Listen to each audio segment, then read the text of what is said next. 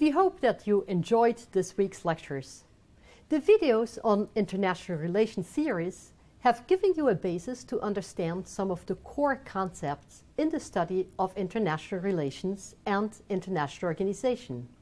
Please keep in mind that several other theories of international relations exist, such as Marxism, post-Marxism, or feminist theories of international relations. But of course, we cannot cover all of them. If you are interested to learn more about such approaches, please have a look at possible additional readings. This is the lecture on the role and function of the UN Security Council.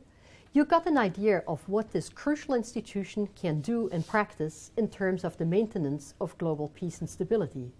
The lectures and the assigned readings will give you the foundation that you need to complete the first quiz for this course that will count towards your course grade. Good luck taking this test.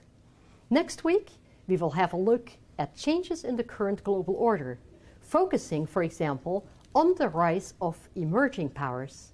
These lectures will be given by my colleagues, Professor Rob de Wijk and Professor André Gerrits. See you then.